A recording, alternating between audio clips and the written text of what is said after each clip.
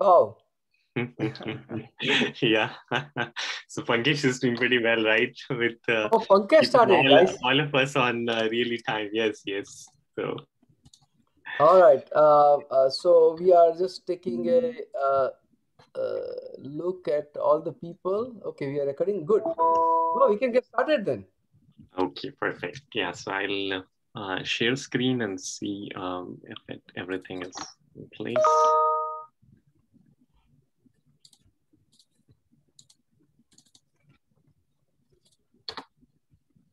Hemant, I have given you right to share a screen. I think you can share the screen now, yes, yes. Hemant. It's slowly loading. Sorry, Pankaj. It's just my system a little slow.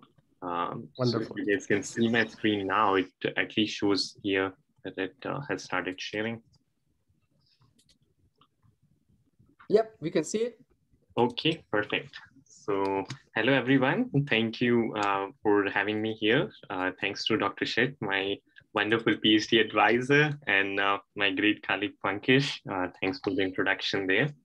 Uh, and uh, as Pankaj mentioned, I'm from George Mason University in Volgenau School of Engineering um, and professor in the Department of Information Sciences and Technology and leading this Humanitarian Informatics Lab.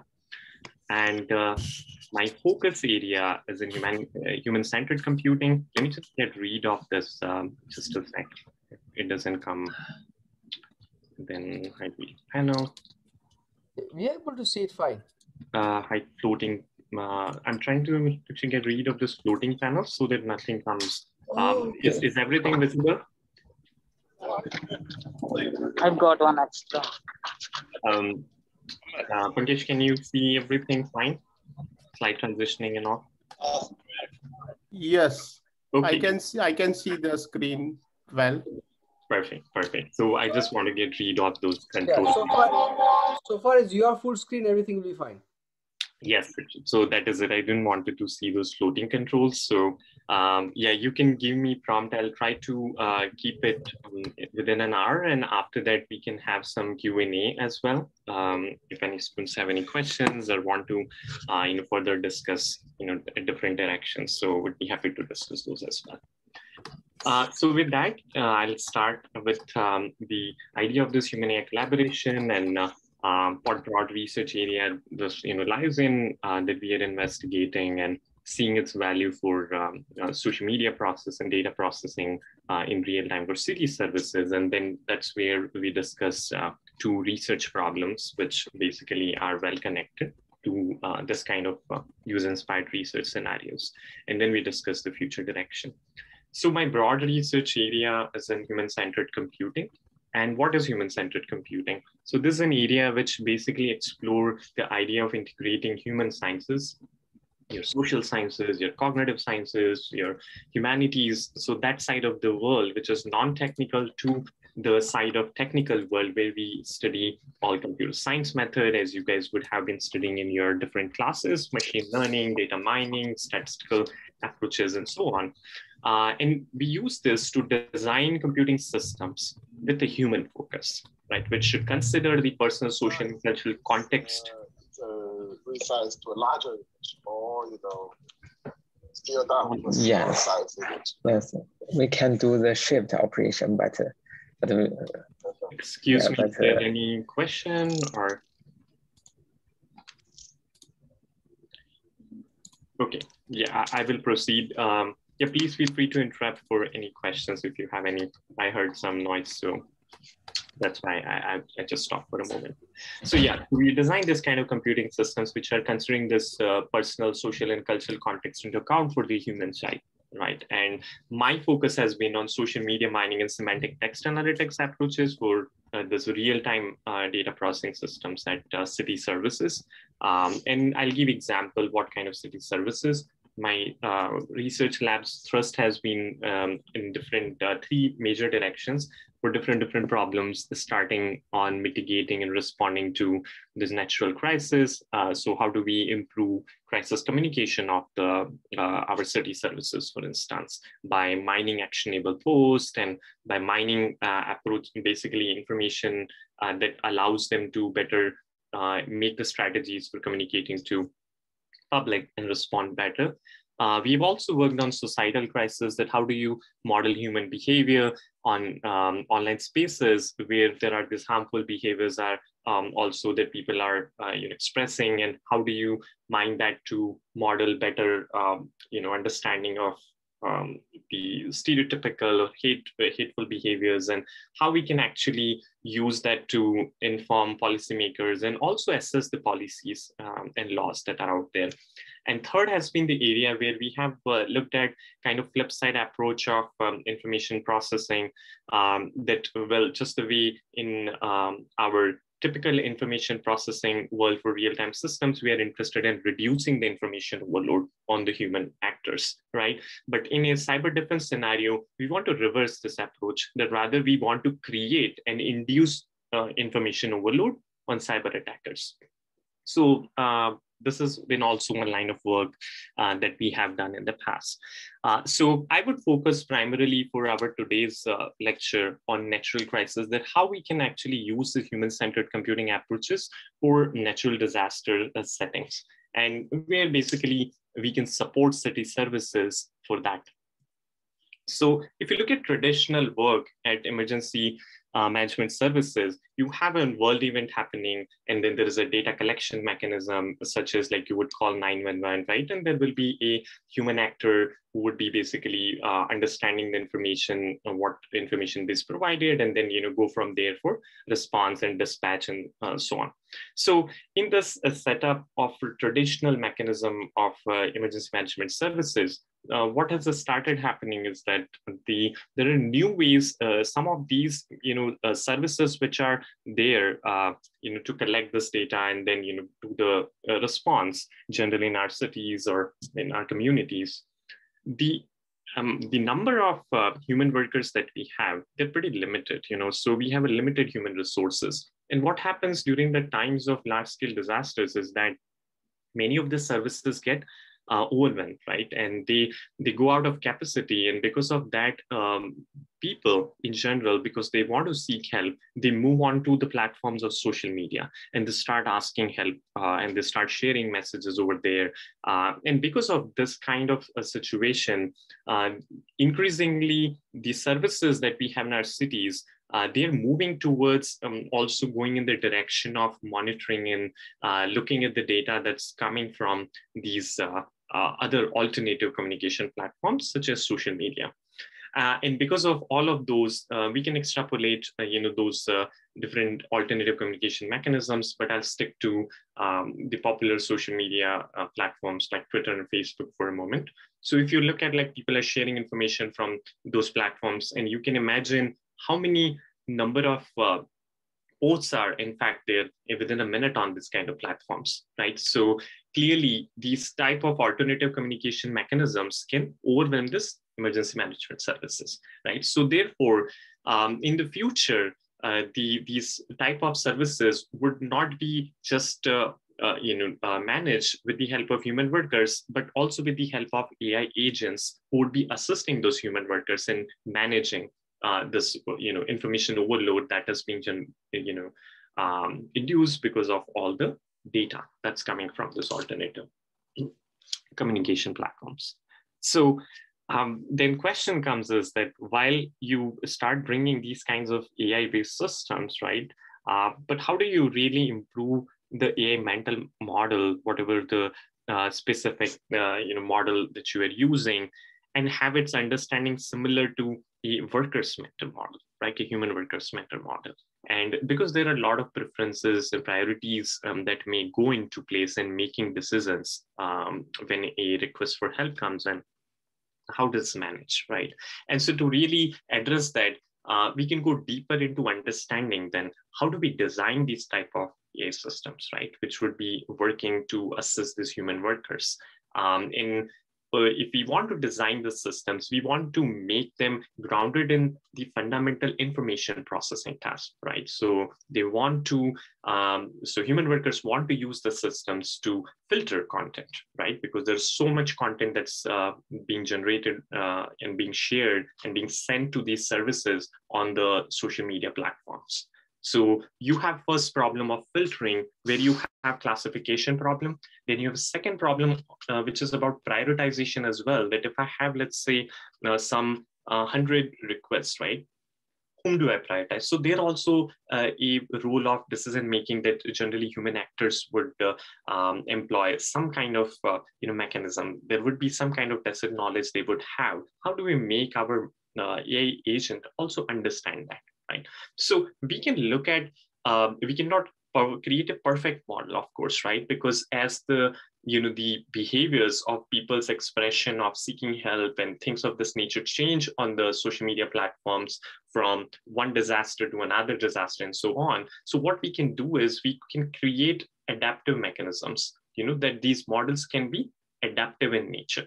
So one problem therefore is that how do we adapt our models to classify relevant items in a data stream Second is if we create a ranking mechanism, right, that uh, let's say a specific ranking algorithm like your Google search gives you like top 10 results to look at and so on, right? But those top 10 results that uh, uh, your Google gives, you may not have time to look at all those top 10 results, right? So in the same way here, a uh, human worker may not have sufficient time to look at all the 10 messages and we are just trivializing here by just you know 10 messages. You can see that in a typical disaster setting when so much millions of you know messages are posted on the social media spaces we'll be talking about um, at least hundreds to thousands of messages that would be uh, coming in uh, or coming across these kind of services right? So therefore understanding also that how to adapt to rank these uh, you know top key items for the human actors you know that also becomes a important a second problem here. So for addressing the uh, you know whole adaptational model aspect we can rely on active learning right? So in in the ai world we have this active learning system where people are uh, having this adaptation of the model over time. One problem with this active learning is that uh, active learning takes feedback from humans, right? But what about the reliability of the annotator or the person who's giving feedback to, to this model, right? So that is one um, area of uh, the research issues we can say that one needs to address. And the second there, in the second problem, where we have to create this uh, ranking mechanisms which are adaptive in nature, we have to factor in the human workload. Uh, and how do we do that as well, right? So that also becomes a, a typical research issue here. So for the first problem, that how do we model those human errors when we have these kinds of active learning systems deployed in in the uh, you know real world settings, right? And the alternative name for that is this human in the loop AI system, right? So you have this humans in the loop where, who are basically giving feedback to your active learning uh, model that you have uh, for you know filtering or relevancy classification. So um, the question is that about the annotator reliability, right? And we wonder what if basically there are systematic issues of errors uh, through which you know uh, the annotator reliability is being affected whenever the human actor is giving feedback to active learning models. So to address that, we need to understand like what are potential error causes, right? And one way to look at that is relying on the science of humans and human behavior right? And that's where psychology theories come into play. So a lot of research has gone into uh, psychology world or psychology discipline and literature. Uh, can I interrupt? Sorry. Um, uh, yeah. What is the nature of um, input that the human might give to the active learning system? In uh, so they would be giving labels for example, if we look at the uh, message, uh, if we look at, let's say, uh, somebody asking, you know, throwing these kind of messages as example uh, that you see with it uh, on social media, the message on the left, for instance. Uh, that 911 is not responding and there is a, a, you know clear need for help that the person wants right? And let's say system is not uh, detecting these kind of messages perfectly right? And because of that uh, you know the it, it needs help from the human actors to continually improve the model right? So the human actor would give labels, basically the relevancy labels to this message, though this is a highly relevant message. So uh, if the uh, current labels on those messages are not right, you're soliciting more labels? Is that what this is? You are soliciting correct labels. Um, the labels being predicted by your existing active learning models are not correct And because of that, you're soliciting. That's what model thinks. And the way how that is determined is the confidence score, right? When a prediction model is employed on this stream of these messages. So at every instance in this stream of messages, uh, there will be question asked, right? That whether this uh, this message belongs to high relevancy or low relevancy, and the model may not be sure, right? That the the if we look at the prediction probability, the confidence score, that is just like around fifty percent. So model is not sure at the time, right? And therefore, it will pick that instance, or rather, it will sample that instance from the uncertainty region in in its uh, decision space, and it will give to the human actor. Okay. Yeah. Thanks. Okay, so uh, basically, in therefore, in that kind of setup, the potential human errors uh, that it can come out uh, or that may be induced because of annotators burnout, right? That uh, person who's giving feedback may be burned out because of the amount of work that person is involved in. Uh, second can be cognitive bias, right? That uh, where uh, human is giving the feedback to the machine, like the positioning of, let's say, a label for high relevancy versus low relevancy. So answer position also creates problems, and that has been studied as well uh, as a cognitive bias. The third one is the human error in execution. And this wasn't very much explored, and this is what we had explored in our research, actually, that humans can actually make errors when they're actually giving these feedbacks as well and because of uh, two major type of Reason's there is a theory uh, reasons theory uh, which actually provide this uh, um, types of different human errors that may be um, you know uh, done in specific scenarios so in psychology people have explored this in the settings of aviation um, in the settings of like industrial complexes, right, where you have this high risk systems uh, in, in place and human makes error, right? Medical settings where human makes errors. So these major categories have been studied there. One is called mistakes, another is called slips. Mistake is a situation where error is happening due to incorrect or incomplete knowledge right? Uh, and you may have some faulty heuristics that basically um, you have built up in, in your mind, right? So generally in your mental model, you will build understanding of the concept for which you are um, annotating the message, you're giving feedback for the message, right? That something is high relevant because of something, right? And that something is what is in your mind and and basically that is not perfect right? And uh, you are still learning uh, that that concept in your mind. Because of that you could make a uh, error of this type mistake. Second type of error is slip. And this happens when actually we do have a knowledge but we make error because of external context and so on and so forth. So for example uh, when you have to write something on a paper right? You would reach out to instead of reaching out to a pen for writing you would reach out to keyboard for typing you know? So th- there is a uh, that kind of uh, slip that happened that your goal was picking up the pen, pen you know uh, for writing on a paper.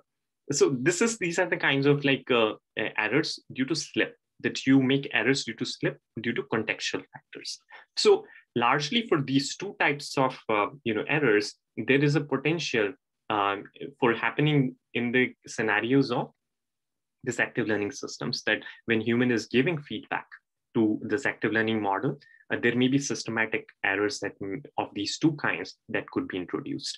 And so this is what we explored in this work, where our hypothesis was that the serial ordering of instances given to the human annotator uh, can may cause him or her errors, uh, and errors due to mistake or slip. So for example, if you look at the uh, instance sequence that I'm showing you over here, and this instance sequence, these are all potential labels for those uh, you know instances in a sequence. That let's say the first one is of class c4 the second one is of class c1 a third instance is of type c2 and so on and so forth. So in this setting what happens is that when as, as i was mentioning earlier that in our mind we have a model of a concept that is be continuously being constructed and you know it it's if it is already constructed then it may be insufficient for capturing uh, the you know knowledge of the concept because concept itself has evolved in our drifting data streams. So because of that you may have problems that the way the instances are given to you you may forget or your memory may decay over time for the understanding of those concepts. So for example, in this particular instance sequence, what can happen is this uh, uh, C3 instances that belong to class C3, you can see that in the given uh, sequence that I've shown you here, the, there is so much gap when whenever the instance of class C3 appears um, after the second occurrence right? Uh, there's a first occurrence at fourth position. There is a second occurrence at sixth position, right? And then there is a uh, uh, next occurrence after a very long, um, you know, uh, gap. So because of that, what can happen is person can lose, uh, you know, understanding in his memory for uh, that specific concept. So this is basically work in psychology about memory decay and forgetting behavior and so on. Uh, and uh, Ebbinghaus's curve is a he was a very famous scientist who studied this kind of behaviors. That on x-axis, if you see that times this first time learning happens, person actually forgets the, the thing. Like if a person has not looked at, you know, and there is a repetition is important. And so, you know, this kind of thing has been for memory retention has been studied in educational psychology, but primarily.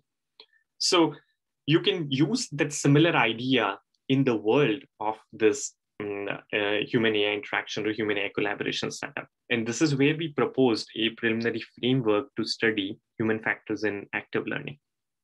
That you can have this specific type of errors as we discussed before, like slips induced uh, uh, by certain constraints. So the, the constraints may be time constraints as well right that you have too less time to really um, you know give the feedback and because of that you know you um, make errors. That's off type slips.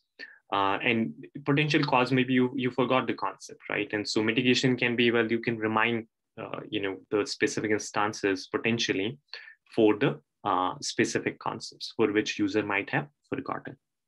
The second is uh, where you have a scenario for mistakes due to serial ordering. And this is what we were interested in exploring as a hypothesis as well that in the way you have been exposed to the sequence of information, you may get actually uh, certain biases to only certain concepts and not every other concept. And because of that, you may actually not acquire the concept. Um, and basically you can, you, because of that reason, um, or you may have forgotten, uh, you may still make mistakes.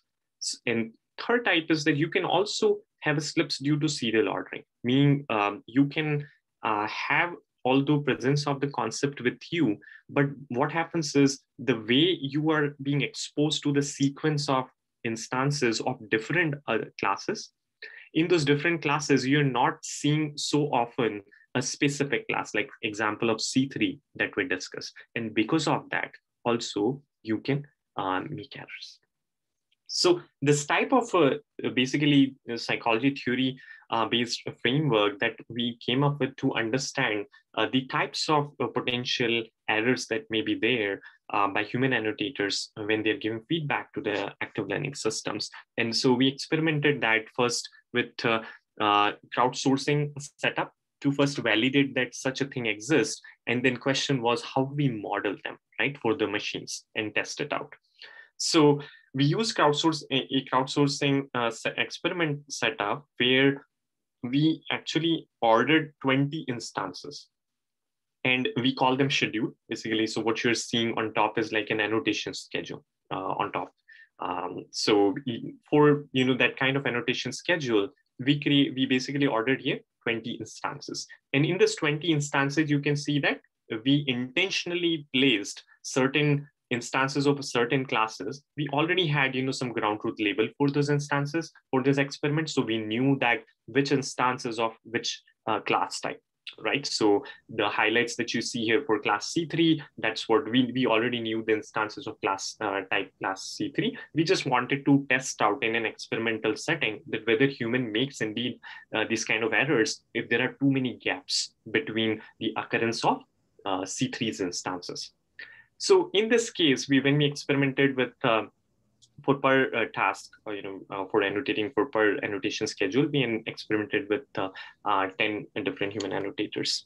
And what we got as a result was people did not make people made a lot of errors on first position uh, when the C3 was occurring, that is like the fourth instance. Then they made little bit less error on the posi- second position when the instance of class C3 occurred. Um, and that was the time, uh, basically that was the sixth instance in your annotation schedule, right? And we could see, okay, to an extent, maybe person was recently exposed to this idea, this, this concept C3, and that, that's why uh, the example of C3 was kind of understood by the human being. So he did not make error when at the sixth position, it saw the instance of C3.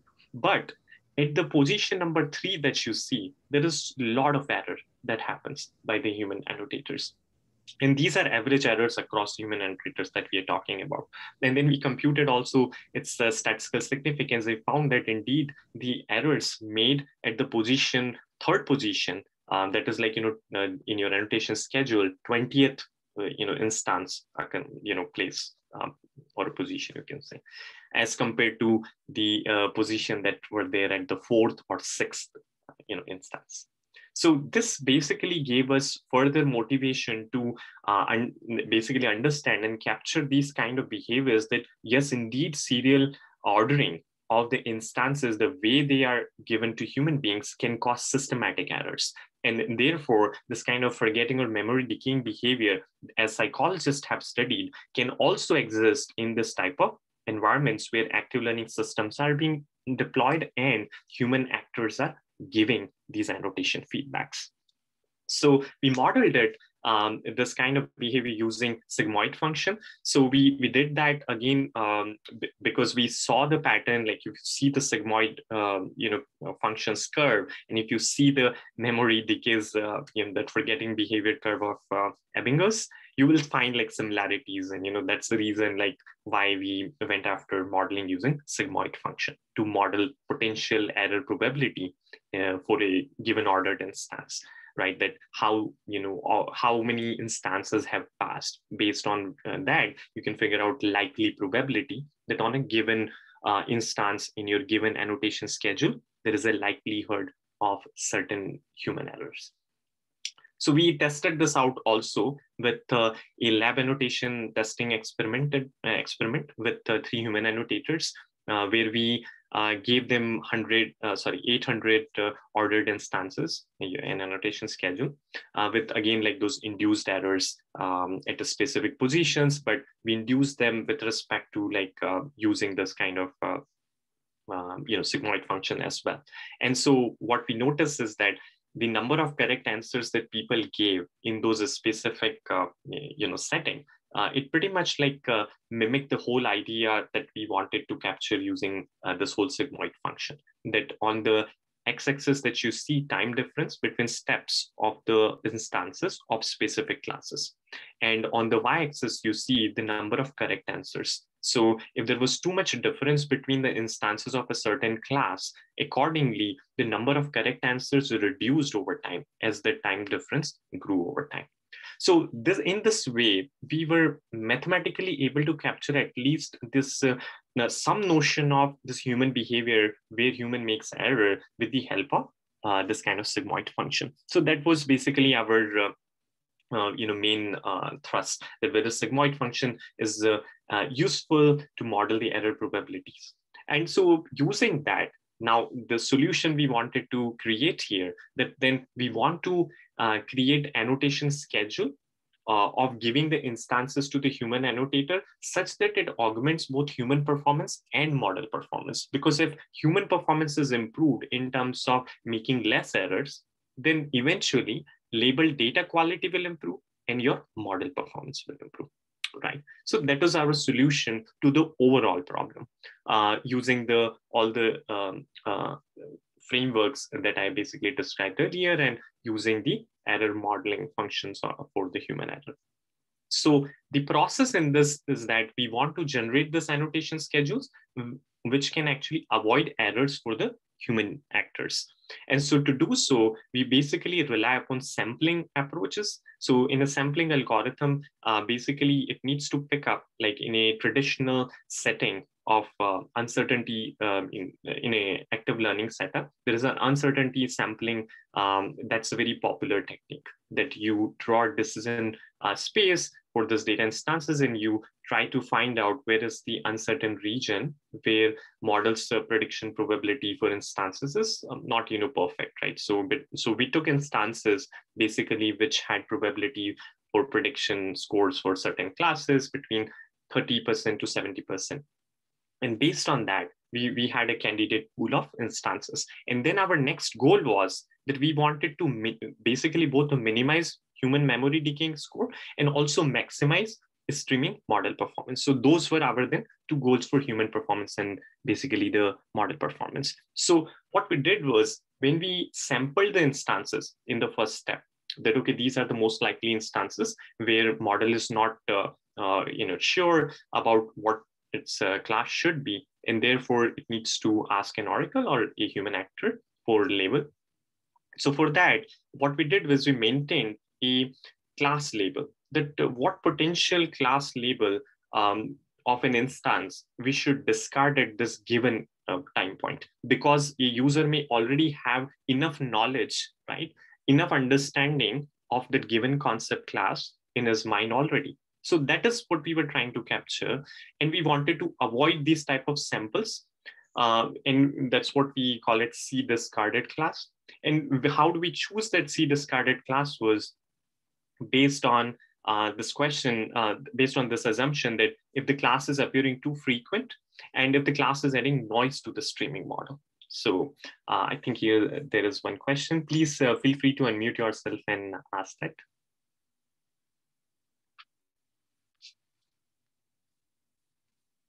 So I have a question on this this first point, which is uh, you ask a um, relabeling of the instance based on the uh, decision boundary, how close it is to the decision boundary. At what stage do you do that? Like, um, if you wait until the whole training process is over, it could be forever. Yeah. So, so we do that at uh, every basically instances stage. So uh, you can see like uh, in this figure over here, uh, the the there is a stream of instances like this dot dot dot that's being represented here like this. Okay, and uh, at let's say time point t i minus one, you had let's say uh, certain instances based on which you constructed them, you took the feedback from the user, and then you built a model. Okay, and then what you do is, uh, so you uh, by the way, you keep for testing the model performance using a test set which is fixed, right? So at time point ti, let's say if I have to use a model, so I will use the model that is being constructed with the help of whatever instance uh, that was annotated at previous timestamp, that is the i minus one, mm-hmm. and the uh, existing other training sets that we had beforehand. So using that, let's say at time ti, I have a model. And then based on that, what I what we construct is we basically get a uh, for the new instances that have come up between, let's say, ti minus one to ti, so for those instances, uh, we have basically this check um, that we saw in the previous uh, slide, that we will check with the model that whether these instances are uh, going to be of a certain class. And based on, let's say, the different shapes over here, circle or triangle or so on, uh, these are basically denoting, let's say, different types of classes, C1, C2, C3, and C4 all. And so from here, from this uh, potential candidate um, you know, instances, we are able to predict uh, using our current model uh, what potential class they will belong to. And based on that, we are able to discard some of those instances that which instance basically we can discard based on our understanding of, of what is our current C um, discarded is, which means which is a specific class that we need to discard currently. Based on that, you sample the specific instance that, okay, we could consider um, in instance of uh, uh, class, let's say it is a C3 and C4, I think those instances uh, potentially would be okay. And, you know, but you are not sure though, right? you're still just guessing all this until you give to the human uh, annotator and then human annotator can actually annotate the instances, those specific potential instances, which model thinks that likely will not cause uh, further uh, memory decay in the human's mind And so based on that, you know, you you're you're basically this process just keep continuing. So you have a new annotated uh, you know instances, and then based on that, your model gets again revised, and you at the time point ti plus one, you repeat the same story that whatever instances were between ti and ti plus one, you're going to use those as a candidate instances. Uh, uh, I mean, that is a great answer, but uh, between the uh, between ti minus one and ti and then ti and ti plus one, Mhm. is the uh, uh, have you done any analysis of statistical convergence? Like, if say you're using stochastic gradient descent, uh, then between ti minus one and ti, there's no uh, reason you should believe that's a good point to ask a question because we don't know if it's reached the optimum. Or between ti and ti plus one, there's no reason to believe that unless between all these i's uh, you have seen sort of similar rates of learning. Mhm. Right. So that's how you construct. So the error matrix uh, actually does that, right? That's what it captures. That's how you determine what should be your this uh, you know C discarded should be. So what we take assumption here is the following: that if I consider, uh, let's say class C1 uh, instance for annotation, uh, and then model, let's say model gets created uh, with the inclusion of the instance that has been uh, just labeled with the uh, class uh, instance of class C1. Because of condition on the C1, what are the errors, model errors that are going to happen to the other classes, which are C2, C3, and C4? That's how we get a sense of that whether uh, you know a specific uh, you know class should be considered as a C discarded or not. So to your point that whether you know uh, the model, what will be the model's error rate, right? We what that's what we are essentially trying to capture in the way that what models error are for per class, right? Because generally, as as we know, typically these models will try to bias themselves to the the majority class instances, right? as much as for minority class instances. And so therefore, it is equally important that minority class instances are also given weight. And that's what we are trying to kind of uh, capture here, that we want to, uh, we want to be fair to all the classes.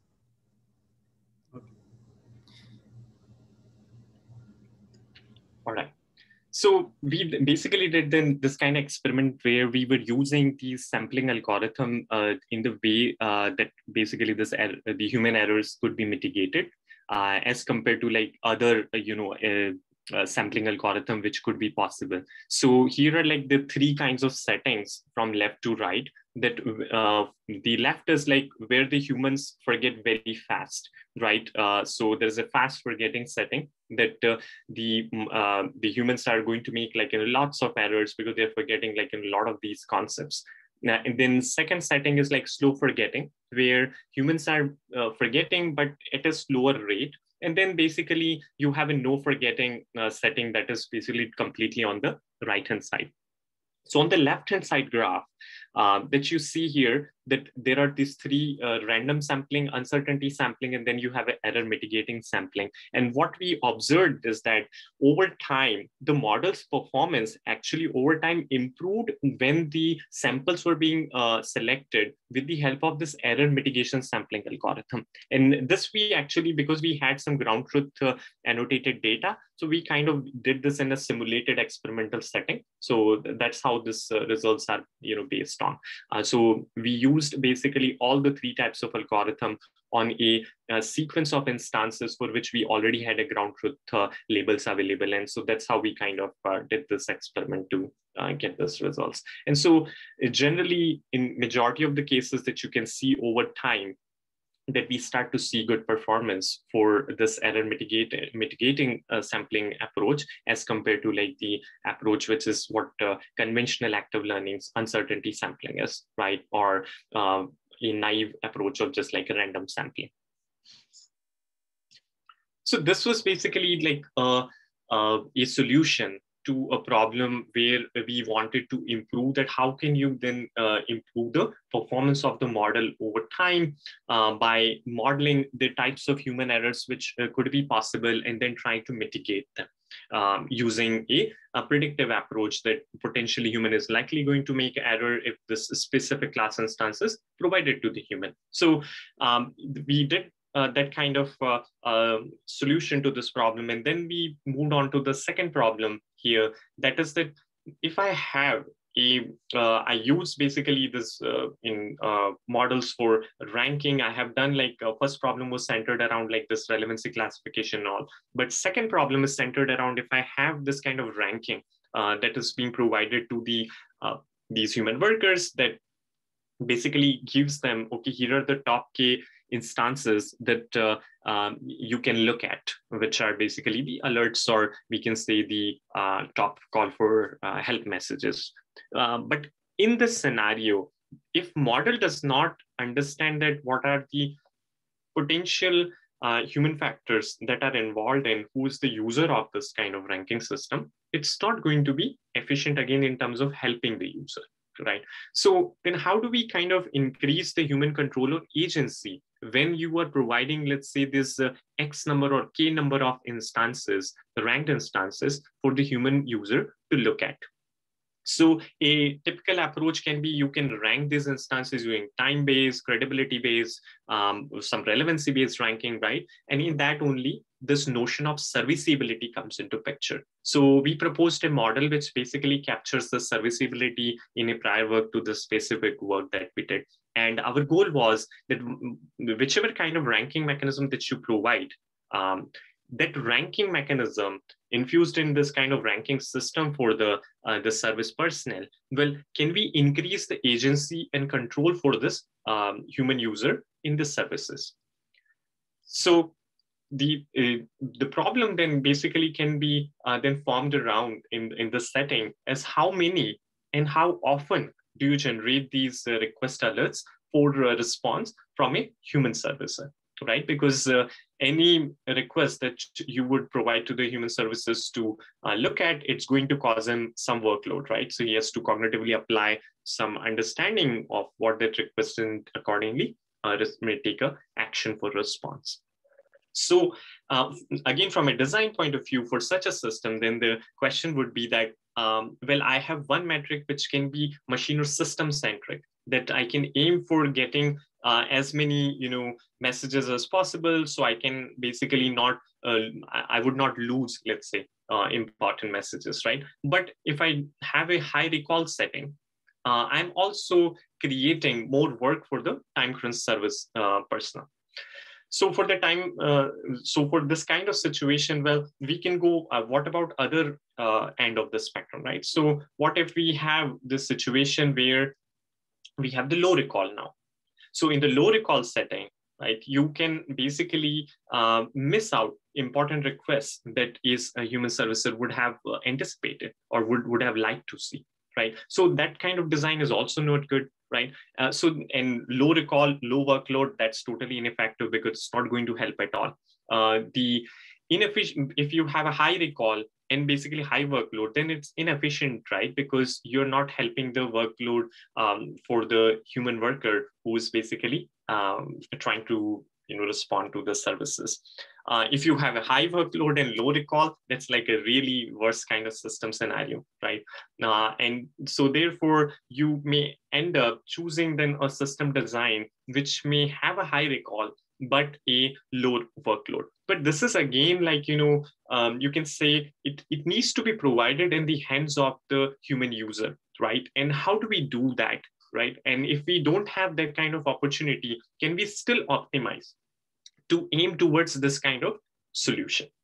So this is the kind of problem that we were interested in addressing uh, from a human-centered computing perspective, that you have the streaming uh, data requests that are coming in, right? And uh, for this streaming request, you have a ranking mechanism, right? Like just we explained earlier that there can be serviceability-based ranking mechanism, so on. So you rank, though these are critical messages at the top to all the way, um, like not so critical messages to respond at the bottom. And so based on that, you can actually construct a system performance metric. You know, you can actually find out uh, potentially that if I have this different different settings of uh, how many requests that I give to the user and how many times does a user have to check those uh, messages to respond. So for example, these columns uh, are uh, representing like this TIJ over here uh, for time period that, okay, I need to check the system after every 10 minutes, or I can check system after 20 minutes, or I can check system after 30 minutes and so on. And on your um, in this rows side, you have these uh, selection of top K that how many messages basically that one uh, can um, basically see or uh, check at a specific point of time. So based on this kind of uh, different configuration settings for system, uh, we can actually also provide in this metrics uh, over here, performance metrics over here, what are potentially attainable recall in the workload so that we could figure out what is the potentially, uh, you know, uh, good system uh, design at a specific point of time, right, for a given user. So user can then, you know, choose the configuration as uh, he or she desires. So this was our overarching like, approach in terms of uh, creating a solution that would be more driven by human needs and driven by uh, more a desire for what kind of uh, you know context that user is in and what user is basically is capable of doing and is interested in doing right? Like because if user is already uh, too busy it may not have sufficient bandwidth to look at like uh, if you give uh, um, you know 100 messages to look at for the user right? So that that's basically the idea behind uh, this type of approach. So the summary of this approach is that first you are going to uh, categorize and rank the messages. Second, you're going to construct those performance metrics, and we call it your ranking workload metrics. You generate that, and then based on that, you can employ optimization algorithm on top of it, right? So either you can let a human user, uh, you know, make the uh, specific choice on the system design from from that uh, ranking workload metrics, or we can automatically also um, use a sort of non-dominated sorting, uh, like uh, selection for the user. So um, to model the serviceability, this is a, other work that we did separately to just figure out how do you capture the serviceability characteristics of the social media request that comes to these kind of uh, emergency services. And we relied on this domain uh, knowledge that was there um, for their training curriculums to find out that what constitutes a good serviceable uh, you know, request that a service person would like to respond and uh, or would like to respond uh, as a priority. So based on that, uh, we found out these four characteristics that can be a uh, basically variable for this function of what can be serviceable. So first was this explicit request that when a, a user asks in his uh, social media request for help for specific resource or service, right? Um, second is like if there is a question that can be kind of answered Third is where there's a contextual information provided as much as possible so that they clearly uh, a, the, the, context could be understood for response. And lastly, like the message is also sent to the right organization. If you are seeking help for basically um, the non-security related problems, then you might want to, you know, send a message not to police, but maybe uh, another agency's uh, service account. So these kinds of like uh, characteristics led us to uh, a design of approach where we first um, uh, collected using Likert scale functions, uh, different ratings for the messages. And here are some examples of the messages. These are average scores of Likert ratings that we got with the help of crowdsourcing workers for different messages. So for example, you can see the messages at the top, which are in green. You can see very specific information seeking, uh, you know, context of those messages versus if you look at messages at the bottom, well, they are just talking about something, you know, which is not technically important, means it's not operationally very important for the uh, service. Uh, so in this kind of approach, then we uh, use also some ground truth uh, uh, data as a gold standard data for serviceability with the help of uh, emergency management professionals. And basically using that, we developed a supervised learning to rank system that you can consider for um, a specific event. So we had about six events for which we had these type of uh, request data. And we had also their serviceability scoring labels. And we also had these kind of serviceability model-based characteristics ratings and all so using which we develop basically a learning to rank model. Once I have a learning to rank model, I can of course employ it for future disasters where new new uh, you know streams of data comes in, and you know you have a ranking predictor which is basically able to give the ranking scores. So using this kind of uh, system, then you know here just examples of messages which are uh, which result from this kind of modeling uh, that uh, I just described using learning to rank um, based model. So uh, you have uh, this, you know, top messages. If you see in the greens, they're basically very specific and like you know appropriate for seeking help and so on. While the red ones are not, and you know for different different disasters like Hurricane Sandy versus um, Alberta, um, so. So basically you you have now a ranking mechanism right? So you have a streaming uh, set, uh, you know data with a lot of these um, requests from public and you have a ranking mechanism. And once you have the ranking mechanism uh, using this whole learning to rank approach you, we can actually create this kind of ranking workload metric uh, that that we uh, uh, just discussed a um, couple of slides before this slide. And then basically from here, we can uh, choose a configuration for the user uh, where if user is not, we didn't have a user available and we tried to do it in a simulated setting. So we just employed a Pareto optimization approach. And Pareto optimization approach is basically where you do not give preference. You do not make any of your uh, basically specific measure more dominated, right? And it tries to give you non-dominated sorting.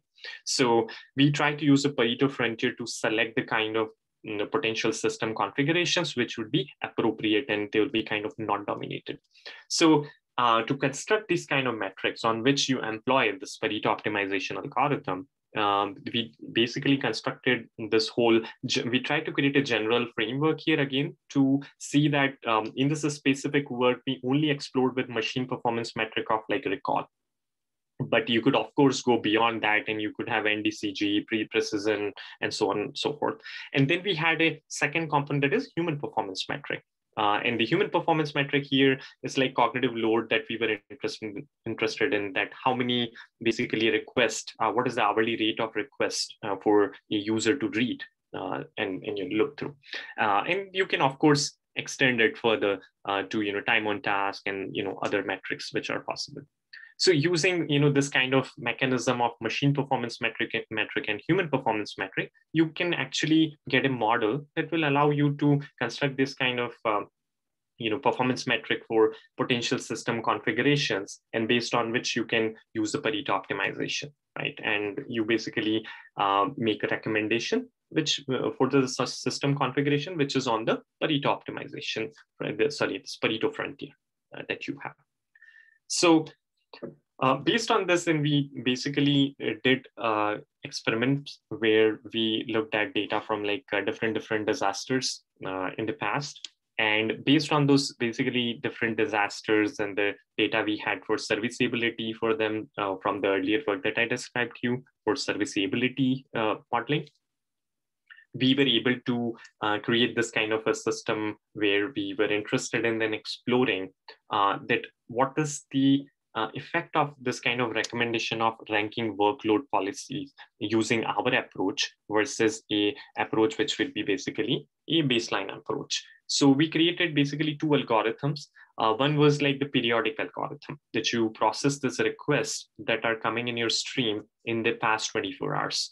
Um, and then you generate the top K ranking, and then you generate this uh, ranking workload metrics. And basically uh, at the start of every hour and you use that as potential you know uh, system configuration for that uh, next start the second algorithm that we explored was this near real-time algorithm. And this was like basically we can say which was close to uh, you know in a realistic setting that you process the request um, from the last uh, one hour uh, as a sliding window. And then you have basically, uh, you know, this generation of the top K ranking, right? At um, and the, of course your ranking workload metrics at the beginning of every minute. So it's more like a exploration of this real-time setup, right? And based on this comparisons, um, then we did the analysis. So this was just the result of the data just to demonstrate that what happens is what we, why do we need this kind of optimization for, um, from humans perspective, right? Human users perspective of the systems. So in this, if you look at like uh, just for one disaster, let's say Sandy, uh, what you have is on x-axis this workload, the different potential workloads settings that um, user would have to deal with, and on the y-axis potential recall values that you can get. So what you see here is that at a specific workload value, you can have a system configurations which basically result into different different recall values right? And that is why you need this type of optimization approach which basically is able to factor in the human factor side, like your human performance metric, right? And basically the uh, machine performance metric side, right? And uh, that is basically the recall. And that that was our motivation, like as as uh, when we started the study. So this is just like as an evidence, um, you know, of the result uh, from our experimental setup as well. Uh, and so again, like back to the comparison of those algorithms that I was describing. So we created a greedy base, a greedy recall baseline uh, comparison when we did with our uh, approach. Then what we observed was that if you see the um, the result here, uh, what it basically shows is that on the uh, the um, x-axis you have time like in one hour increments and you have on y-axis this workload values so what it demonstrates is that if you go with a basically uh, this uh, this suggestion that we have for this periodic rw recommendations that basically um, is informed by the whole pareto optimization approach uh, that uh, we advocate or we hypothesize would be better. Uh, you can see that you know in the this kind of setting in, uh, if you look at it the the workload actually for this type of algorithm or, or you can say suggested by this type of uh, algorithm system configurations for a user it is actually lesser. The workload recommendation is lesser as compared to if you would have chosen a approach a greedy approach which basically at every point of time picks uh, the uh, system configuration that is like greedy about the recall. They just want to have the best recall right? And you can see that across different different events for um, you know this four different events we observed this kind of pattern. And uh, you know this kind of demonstrates uh, again the significance of why do we need to uh, optimize for this uh, human side as well uh, when we are looking at the system configuration. We also experimented uh, basically the setting where we try to look at um, the, again, like our approach comparison with the other setting. That is, what if the um, a, a baseline algorithm chooses basically a policy that always pick a system configuration that gives minimum workload for the human user. So that is also not optimal. And that's what we again demonstrated with these experiments that you, you can choose rather a kind of approach that we suggest, which factors into both um, the human side and the machine side. So this was kind of like these results were encouraging. And of course, we want to do more work towards, um, you know, these, uh, uh, you know, these lines of work uh, to factor in more, uh, you know, human uh, different different human factors uh, measures to bring into this kind of approach and experiment more and all. So in conclusion, uh, I described you a human AI collaboration approach uh, that can help in basically the scalable streaming data processing for like you know effectively supporting this emergency uh, personnel at this emergency services.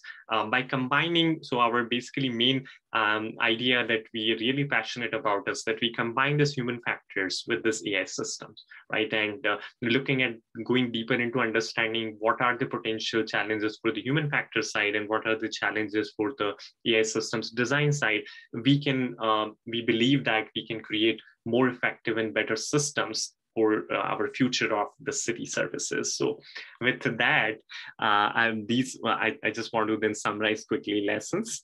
So uh, for serviceability characteristics, right, uh, that I described you for capturing relevance of this request for help, well, they, there are potential uh, you know benefits into the kind of uh, serviceability model that we presented um, where we were informed by this domain knowledge for for this uh, you know, service personnel. The second thing was uh, that uh, we saw evidence of using this kind of uh, uh, serviceability ranking approach that is aware of this kind of workload constraints of the users as a better um, you know approach rather than a greedy approach of a system design which just kind of makes the user uh, you know go towards just a greedy uh, you know direction that choose a minimum workload approach or you know maximum work uh, recall systems. So that's also not fair. Uh, and so based on this kind of limit, uh, basic lessons, um, we in this work, we also had some limitations that uh, the serviceability model that uh, so far we have studied is for non-English language. And yeah, of course, we want to explore for other languages at all, also in the future. And we also want to explore for other platforms. So here we were uh, centered around Twitter, but uh, of course, in the future, we would like to explore for other platforms as well, where uh, these services would be generally uh, open to collect uh, requests for help from people. Um, and we, yeah, we only included directly addressed requests to people and not like indirectly addressed requests. And, you know, we can also study that kind of requests in the future for human AI collaboration perspective, yes, we want to extend the human performance metrics and the ranking workload metrics.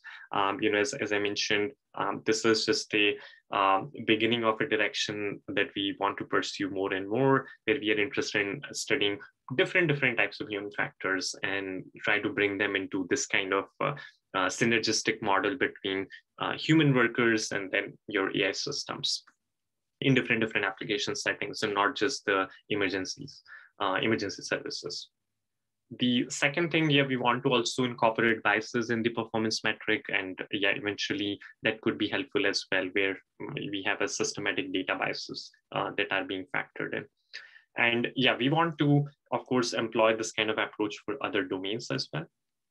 So applications of this kind of work uh, we have been doing, we have the system citizen helper adaptive tool. And uh, in the system, we have a uh, transfer and active learning uh, setups where uh, we have a mechanisms to take expert user feedback uh, as the data comes in and, you know, your current model um, predicts and, you know, you want to take feedback from the experts or users to evolve the model over time, right? And so this tool basically can have values for crowdsourcing work where we can better study the types of human errors that could occur in crowdsourcing work. And then basically employ that for different different types of uh, applications of crowd work. And one example was um, basically working with the certs that we have done over the last year um, where uh, we help them with Citizen Helper to uh, do data annotation and rapid social media filtering for COVID-19 response. So uh, the Citizen Helper is resulted from my NSF CRI um, grant from NSF. And uh, yeah, in this basically, um, we wanted to just filter data uh, like as just the settings that I described earlier. And yeah, there, there are more uh, fine-grained, you know, research that can be, and analysis that can be done um, in this kind of initiatives that uh, what I described to you earlier. So we are exploring in this direction uh, further. So in future, where do we go from here? So human AI collaboration that I described you for the problems for the setting of uh, uh, this uh, filtering or this relevancy classification active learning models, right? We can basically go beyond that. We can employ all those research of human annotation errors in these settings where various applications of certain services are dependent on uh, like these models which need to be very efficient right? But to design those models they um, they need to collect a lot of label data. And if they want to rely upon crowd work well again our work can uh, basically help for that phase. Then for filtering applications, for prioritization, as I described you. Uh, but lastly, also very important, the human machine interaction part where you have these uh, uh, systems which are being supported by these uh, models which are adaptive in nature right? So across all of these phases, um, when you process the streaming data for different types of city services, right, you know, to augment workers' capability for processing information, well, uh, we see opportunity for fundamental research um, as in at the intersection of AI and human-centered computing. So with that, I will end here and this is uh, my lab's link and I want to acknowledge my collaborators in this specific work, um, Chato, Imran and Val, Val as well. Uh, she has been helping us now for modeling psychological processes. So uh, yeah, I want to acknowledge her contribution as well. And um, US uh, DHS Science and Technologies, uh, the social media working group, uh, where we had this researcher practitioner subgroup, um, uh, you know, co-led with me by Steve Peterson. So I thank him as well. And my lab's students and NSF a particular uh, set of grants which supported this line of work. So that's it from my side. I open uh, the question um, for you guys.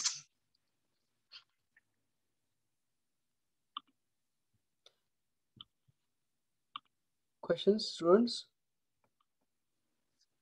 While they think about it, um, so uh, is there any application, um, and I'm kind of really stretching this, uh, Mhm. to engaging humans uh, via virtual assistant or chatbots. Um, um, you know, I mean, because uh, while humans initiate communication with chatbots asking for information or questions, um, uh, if uh, it's going to be, if these virtual agents are going to be um, um, good partners for humans, they will have to also initiate um, questions. They also also uh, actively seek information from humans Hmm. um, or from other humans on behalf of uh, one. So um, That's right. uh, for a Mhm. virtual agent serving a, a minor, uh, maybe it might want to ask um, the parent about some question if there is such a thing.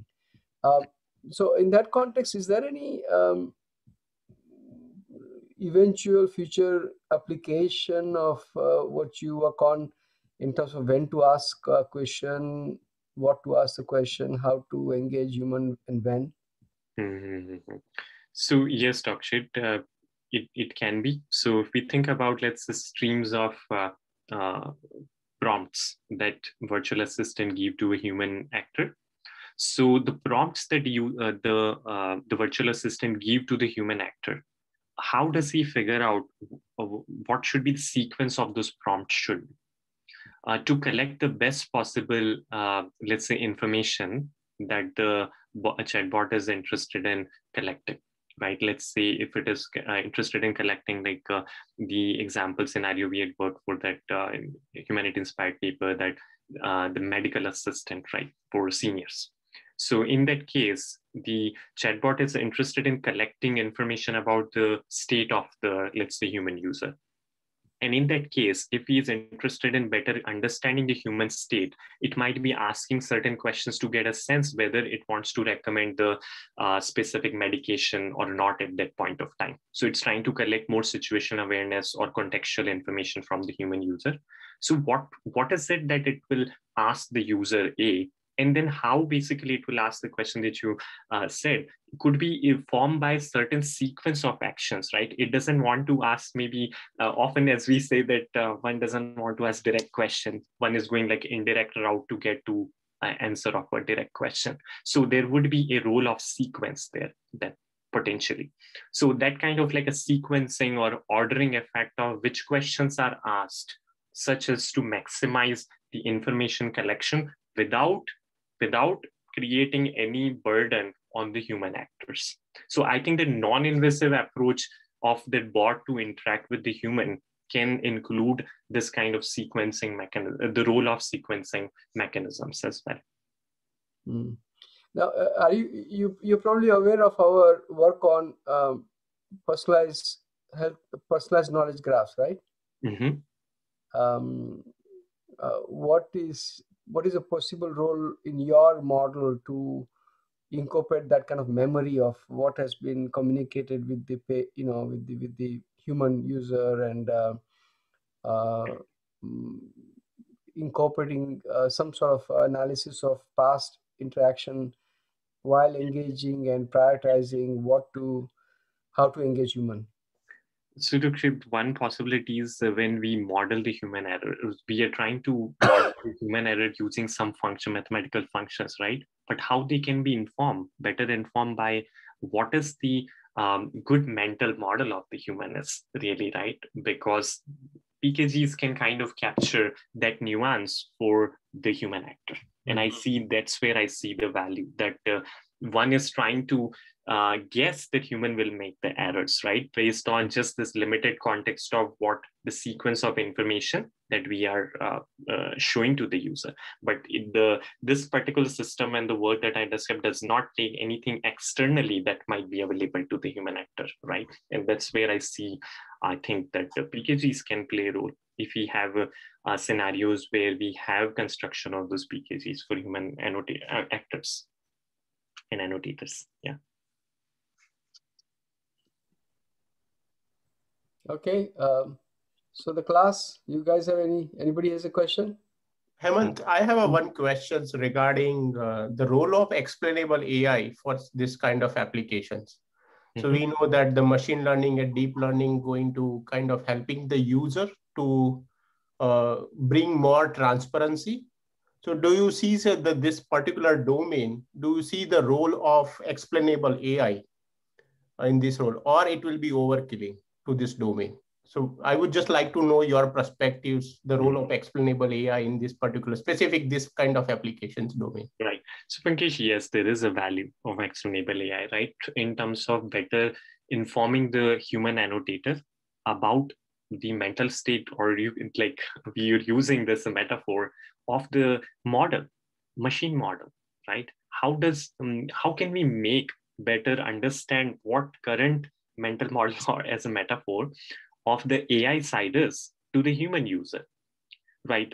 And therefore, when the human is giving feedbacks and all, right, human can kind of uh, uh, better rectify the errors in the machine's already learned model, the patterns that machine has already learned.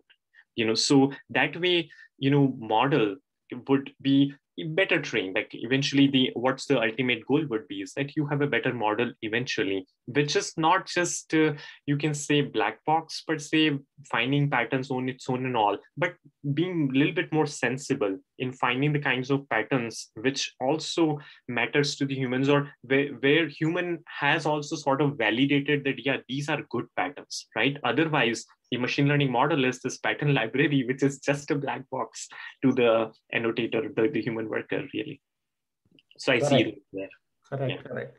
And even I see that the role of knowledge graph also in this kind of application where you provides more informations, not only provide more information uh, um, about the model, but what Right. extra information you could uh, provide to the uh, to the user through knowledge graph, Exactly. so which can enrich the information further and take uh, helping the user in a decision making.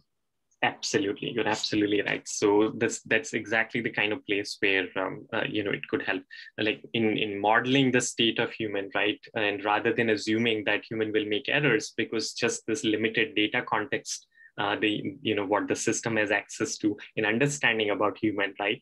And this external knowledge base, uh, if we have access to, it could certainly help. Wonderful, wonderful. Thanks, thanks, Hemant. Mhm.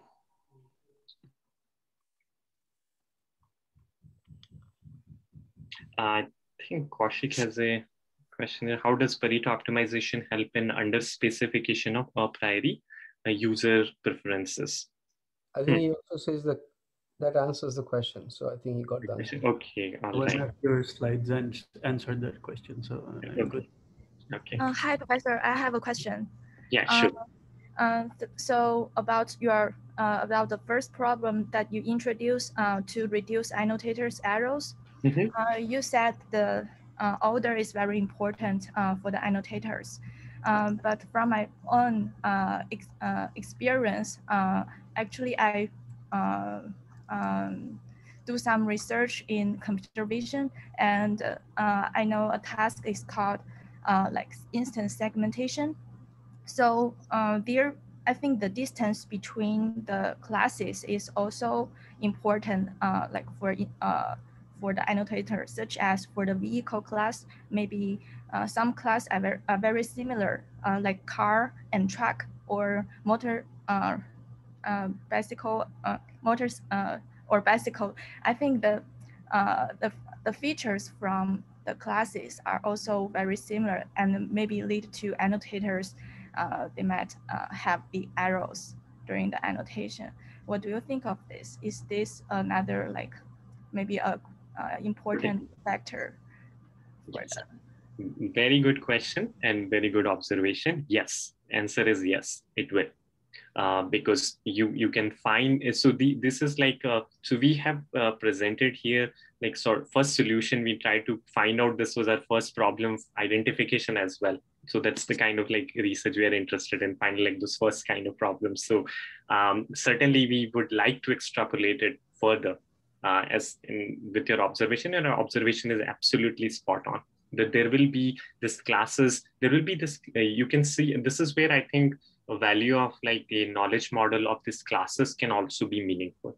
That if we have a what if we had a knowledge model of these classes about some having relationships to each other some are actually close to each other.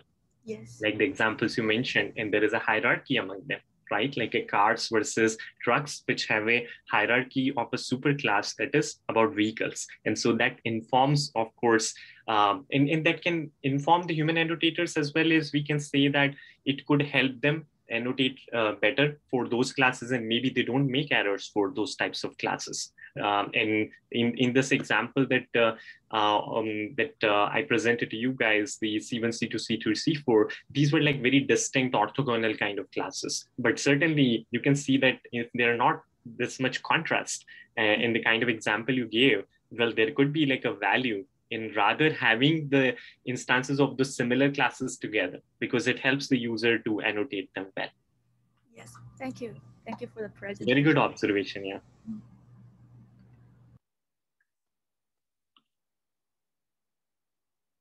Um, I see a lot of hands. I don't know if you guys uh, had a questions, but um, yeah, please feel free to unmute yourself and ask. You're, you're muted, Dr. Yeah, the hands are for students who are officially registered for the class, and then I there see. are uh, observers or or uh, editing uh, auditing the courses. Okay. So, so that is the difference. Okay. Okay.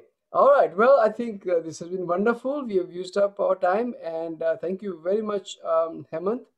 Uh, and um, I, uh, looks like uh, st- uh, students uh, enjoyed it. All right, guys. Uh, we also have um, uh, another uh, talk next week, and I have already posted um, information on that on our LinkedIn group. And we'll post this video soon in our uh, again gr- uh, group.